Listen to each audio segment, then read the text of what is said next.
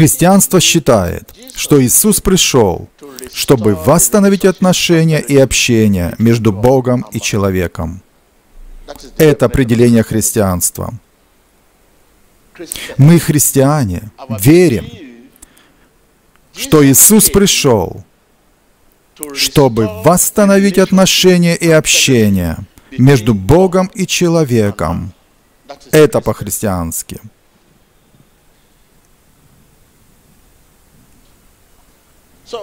Чтобы восстановить эти отношения, тет-а-тет не принимается. Когда ты шлепаешь меня, как христианин, вам не разрешено оскорблять, правы вы или нет. Это христианство. Будь вы правы или нет, вам не разрешено, вам не разрешено оскорблять. Это христианство. Вы христианин? Если вы не христианин, вы религиозные люди. Люди не знают разницы между христианством и религиозными людьми. Отец одерживого демона мальчика был религиозным человеком. Вот почему он побежал к Иисусу. Я верю, вот почему я здесь. Это значит, я верю в свой религиозный путь, тет-а-тет.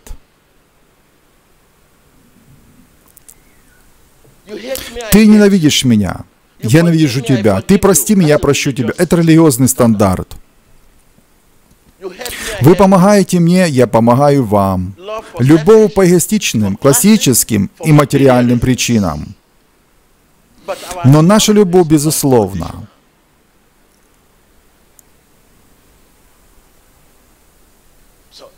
Это проблема, с которой мы сталкиваемся сегодня.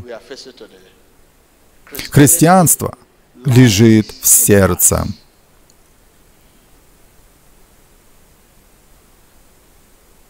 То, что не исходит из твоего сердца, является грехом.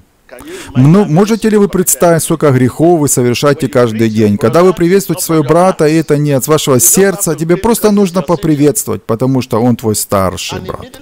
И сразу же, когда вы закончите приветствовать его, и он поворачивается к вам спиной, если я прав, может быть, вы не понимаете, что я говорю? Христианство лежит в сердце. Скажи своему соседу. Христианство, я тебя не слышу, христианство лежит в сердце. Это означает, что то, что не от вашего сердца, является грехом. Можете ли вы представить, сколько грехов вы совершили сегодня? Вы приветствуете кого-то, потому что он ваш начальник или ваш босс. Вы приветствуете, потому что вам нужна помощь. 90% того, что вы делаете каждый день, не от вашего сердца.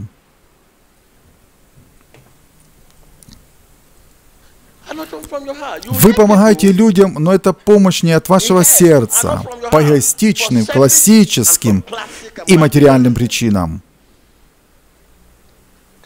Можете ли вы представить, сколько у вас сегодня друзей, которые не от вашего сердца? Как будто вы находитесь под некой силой, которой вы не можете противостоять. Даже когда вы должны приветствовать своего босса на рабочем месте, «Добрый день, сэр», это не с твоего сердца. Христианство лежит в сердце. Это говорит вам о том, что многие хорошие поступки людей не имеют записи в Бо у Бога.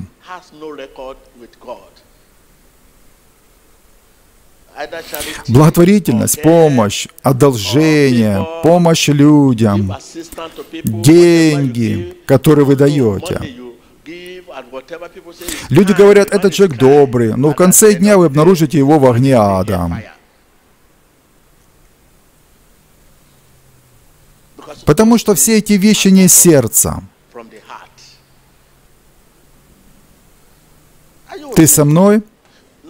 Теперь сядь и скажи мне, сколько вещей ты делаешь из своего сердца. Даже молитва, когда я говорю «встань и помолись», потому что я сказал это, ты встаешь, а не то, что мы хочешь. Когда мы начинаем молиться, вы видите. Не то, чтобы ты верил. Когда я говорю во имя Иисуса, вы говорите «Аминь» не от своего сердца. Вы видите как традицию, вы просто должны сказать «Аминь».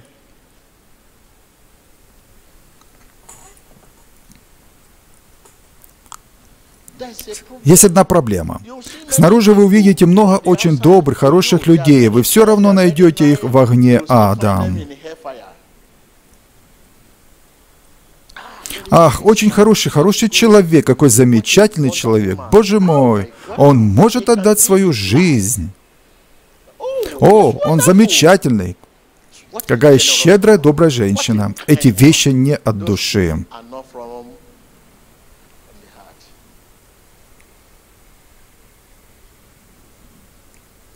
Вот почему наша жизнь такая. Видеть свою жизнь, видеть все, что ты делаешь. Кто из нас на самом деле молится о болезни? Почему болезнь? Кто из нас молится о трудностях? Почему вы сталкиваетесь с трудностями сегодня? Потому что молитва, которую предлагаете, исходит не из вашего сердца.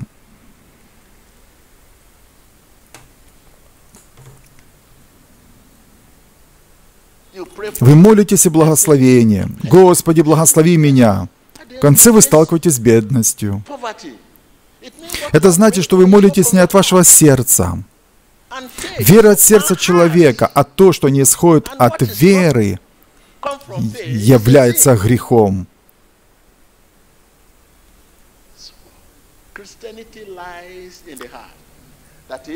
Если вы говорите, что вы христианин, то то, что вы делаете, не от вашего сердца. Бог ничего не знает об этом. Это не от Бога. Что бы вы ни делали, это от вашего сердца. Бог не побеждает. Бог наша награда. Если вы не хотите приветствовать, но приветствие, которое не из вашего сердца, люди будут улыбаться вам, как дела? В результате нашей жизни то, что вы делаете, люди видят, что вы делаете. И это не от вашего сердца. Никто здесь на самом деле не молится за бедность. Почему бедность? Бог не глухонемой, Он не человек, который лжет. Когда ты зовешь Его, Он слышит тебя.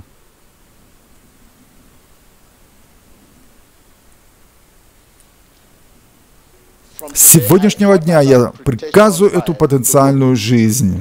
Заказываю ее. Поднимитесь. Открой свои уста и начни упрекать эту потенциальную жизнь. Вы продолжаете притворяться. Все, что вы делаете, не от вашего сердца. Начните упрекать их.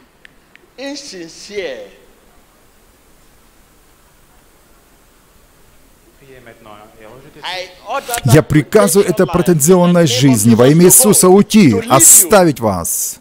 Молитва.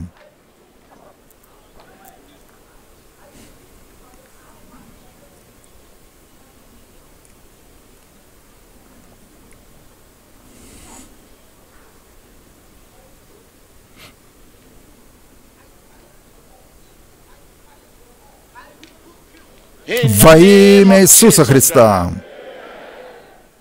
Это почти образ жизни, бизнеса. Надо притворяться. Вы должны притворяться, что любите, тогда как вы не любите человека. Вы должны притворяться и здороваетесь, а это не то, что вы намерены делать своим сердцем. Вы должны притворяться, что заботитесь тогда, как вам не хотите заботиться. Жизнь была такой почти образ жизни. Как долго мы будем продолжать это? И Бог наша награда.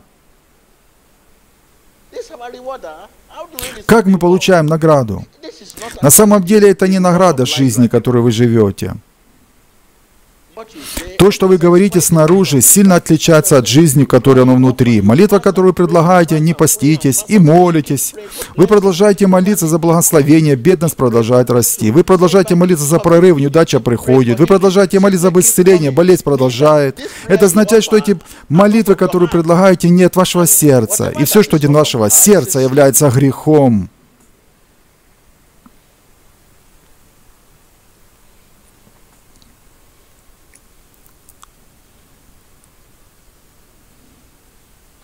Если ваши отношения с людьми были не из вашего сердца, разочарование не может разлучить вас. Муж и жена, если вы искренне любите своего мужа, а ваш муж любит вас, и что любого сердца ненависть принесет больше понимания браку.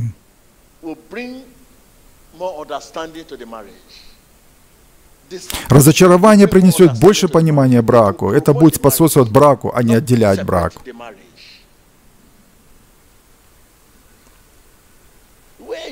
Где в Библии, что когда выступаете в брак, ваш брак не в беде, не в контакте,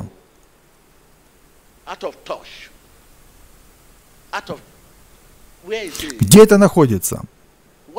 Почему проблемы разделяют брак? Почему кризис разделяет брак? Отношения. Потому что мы не искренне. Брак не из сердца. Мы вступаем в брак из-за внешнего вида, из-за того, что мы видим. Деньги, собственность, красота, внешний вид. Вот причины, по которым мы женаты. И такого рода причины не могут выдержать испытания временем.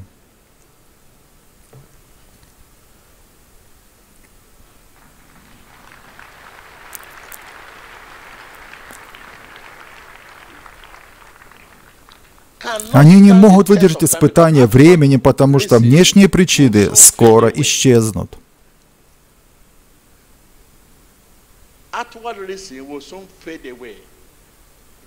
Красота, удобство, собственность, деньги скоро исчезнут. Посмотрите, что происходит сейчас. Многие предприятия браки рухнули. Потому что причина брака были деньги, собственность.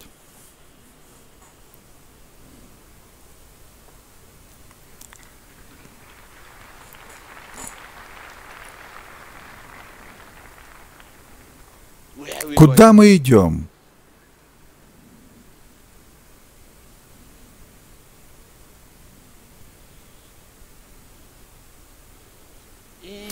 Внутреннее мое сердце.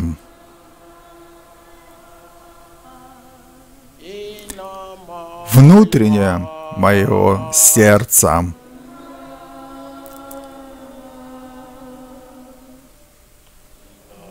Господи, я хочу быть как Иисус в глубине своего сердца.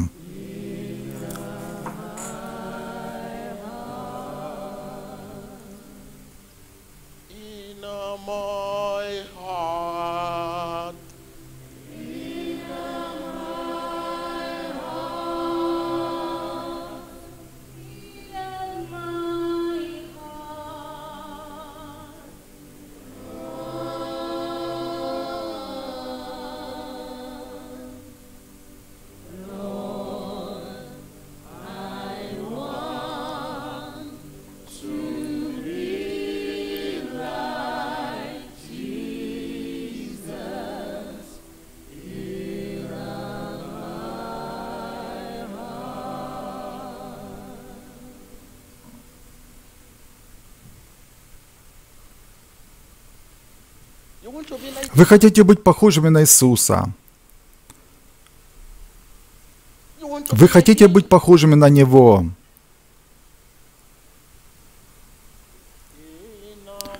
Внутри моего сердца.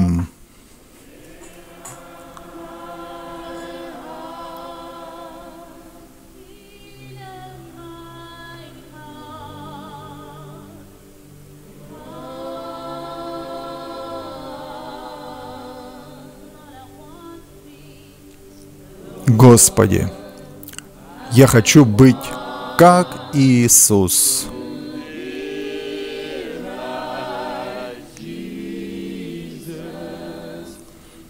В глубине своего сердца.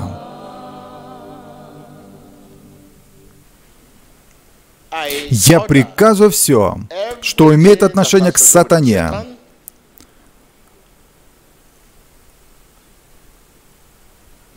что противостоит воле Божьей в вашей жизни.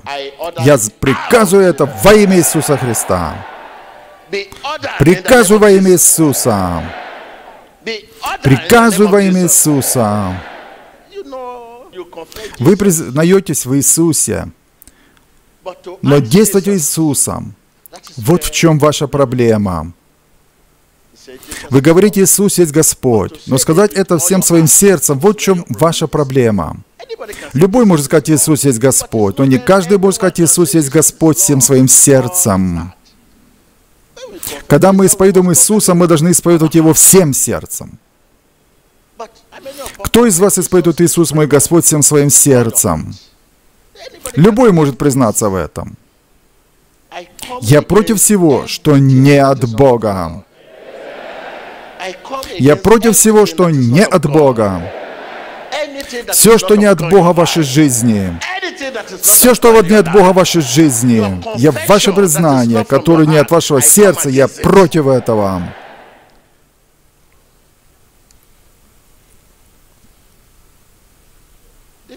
Вот почему сатана продолжает вытеснять нас, заменяя нас. Потому что мы не там, где Бог хочет, чтобы мы были. Бог хочет, чтобы мы были там, где наше сердце.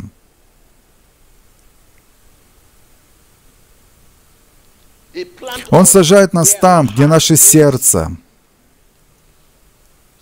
Прямо сейчас я приказываю вашему сердцу слушать. Слушай голос Божий. Сердце твое, слушай голос Божий. Сердце твое, слушай голос Божий. Сердце твое, слушай голос Божий.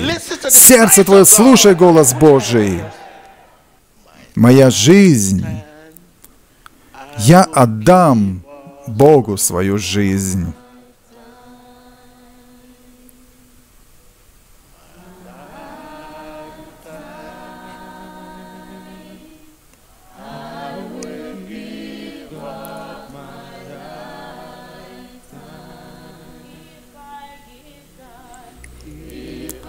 Если я отдам Богу свою жизнь,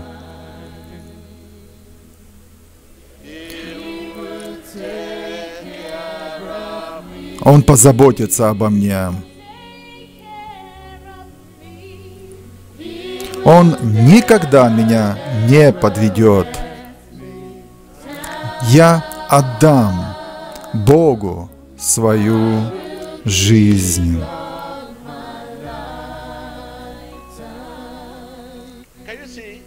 Видишь, вы признались правильной вещи. Вы говорите, если вы свою Богу жизнь, Он не подведет вас. Вы уже подвели Бога.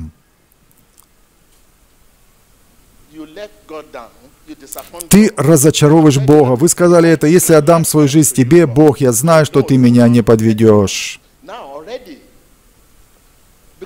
Потому что ты не делал то, что делал своим сердцем. Определенно, чего ты ждешь от Бога?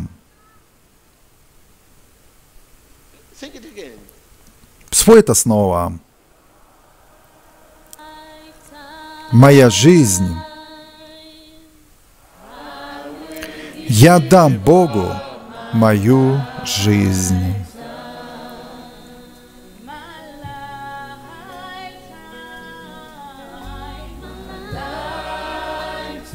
Моя жизнь. Я дам Богу мою свою жизнь. Если я отдам Богу свою жизнь, Он позаботится обо мне.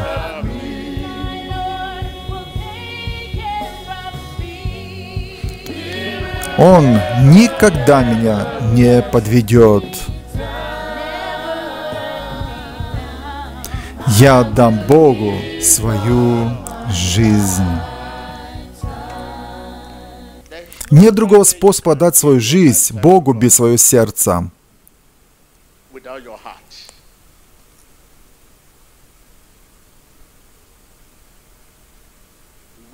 Где Бог заинтересован, величайший факультет. Это коммуникатор между видимым и невидимым. То есть материальный мир и нематериальный мир, ваше сердце, которое Библия называет вашим духом.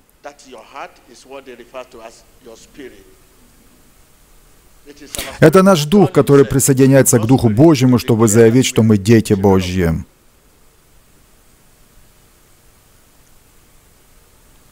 Я молюсь, чтобы Господь дал вам слух сегодня, сердца. Никогда не поздно. Это послание укрепит ваше желание, решимость к Богу.